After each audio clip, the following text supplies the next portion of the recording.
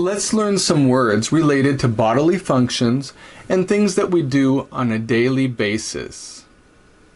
Number one, this man is burping. Number two, this guy is sweating. His armpits are sweaty. Number three, this woman is coughing. Number four, this boy is sneezing. Number five, the man is yawning. Number six, this athlete is spitting. Number seven, the woman is bleeding from the nose.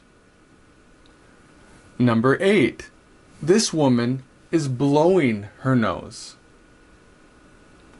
Number nine, this woman is brushing her teeth.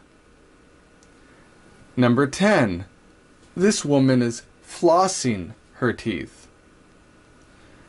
Number 11, Fred Flintstone is sleeping on a hammock. Number 12, this person is swallowing a pill. Number 13, this man is vomiting or throwing up or barfing into the toilet. Number 14, the dog is pooping. Number 15, the man is peeing or urinating. He's at the urinal. Number 16, the man is laughing. Number 17, the woman is smiling. Number 18, this person is crying. Number 19, the woman is farting or passing gas.